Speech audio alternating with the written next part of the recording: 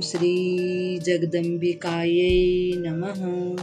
भक्तजनों, अब आज हम आपको स्वयंवर में राजाओं का वाद विवाद जो हुआ था, उस कथा को श्रवण करेंगे।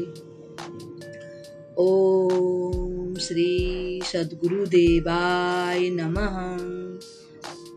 श्री गणेशाय नमः। श्री सरस्वत्यै नमः।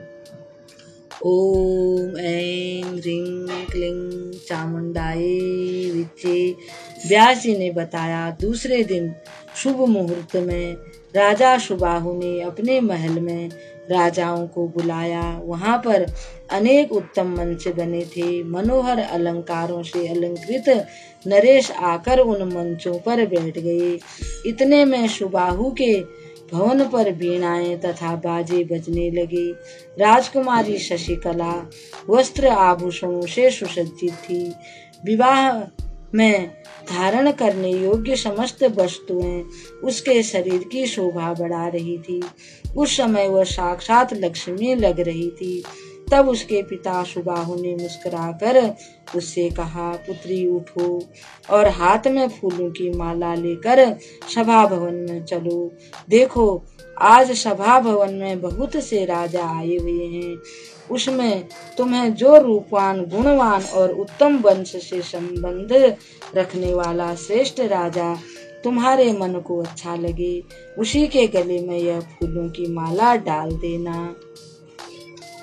पिताश्री की बात सुनकर शशि कला बोली, पिताजी, मेरा यह दृढ़ निश्चय है कि मैं सभा में उपस्थित राजाओं के सम्मुख नहीं जाऊँगी।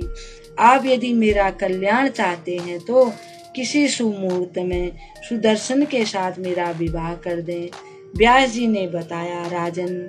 तब शशि कला की बात सुनकर राजा सुबाहु चिंता मग्न हो गए उनकी चिंता का कारण यह था कि इस अवसर पर यदि मैं स्वयंवर में उपस्थित राजाओं से यह कहूँ कि मेरी कन्या स्वयंवर में नहीं आना चाहती तो वे दुष्ट बुद्धि वाले राजा मुझे जान से मार डालेंगे। इस प्रकार चिंता मग्न होकर तथा मन ही मन को सोचकर राजा सुबाहु नरेशों के पास गए और उन्हें प्रणाम करके बड़ी नम्रता पूर्वक हाथ जोड़कर बोले, हे महानुभाव राजाओं, मैं विवश हूँ। मेरी पुत्री स्वयंवर में नहीं आना चाहती। मैं आप सभी नरेशों का सेवक हूँ। आपके चरणों पर मेरा मस्तक पड़ा है। अतः आप आप पूजा आदि स्वीकार करके अपने अपने भवन पधारने की कृपा करें।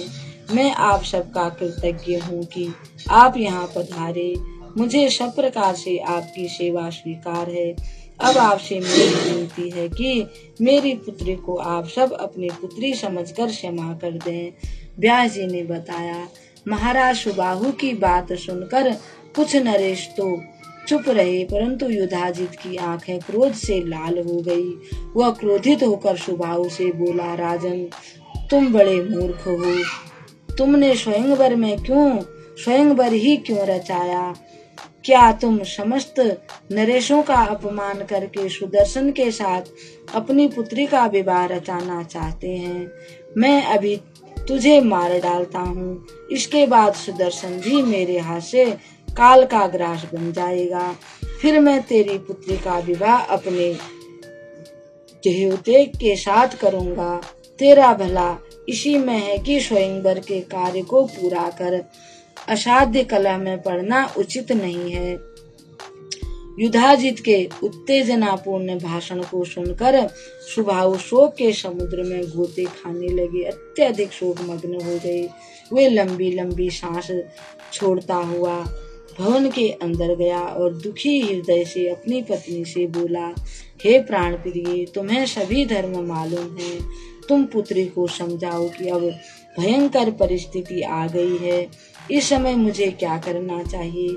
मैं स्वयं कुछ भी करने में असमर्थ हूँ, क्योंकि मैं तो तुम्हारे अधीन हूँ। अपनी पुत्री को ऐसा कहो। राजा सुबाह की बात सुनकर रानी अपनी पुत्री शशिकला के पास गई और उससे बोली, पुत्री, महाराज बहुत दुखी हैं। यदि तुम हट पूर्वक सुदर्शन का ही वरण करोगी तो युधाजित हम सबको मार डालेगा। माता की बात सुनकर शशिकला जरा भी भयभीत नहीं हुई। वह निर्भीकता पूर्वक बोली, आप चिंता छोड़कर वैवाहिक विधि का पालन करते हुए मुझे सुदर्शन के हाथों में सौंप दीजिए। जिनके नाम का कीर्तन करने से कष्टों और विपत्तियों का नाश हो जाता है। वही भगवती चंडिका हमारी भी माता है, हमारा कल्याण करेंगी। आज ही रात्रि के समय वैदिक विधि के अनुसार मेरा पाणी ग्रहण सुदर्शन के साथ कर दीजिए। मैं अकेले ही सुदर्शन के साथ प्रस्थान कर जाऊँगी। अब इस कथा को हम यहीं पर विराम देते हैं। कल आपको शशि कला सुदर्शन के विवाह की कथा को सुनाएँगे। तब तक के लिए हम आपको प्रणाम करते हैं। ओम श्री जगदम्बिकाये नमः।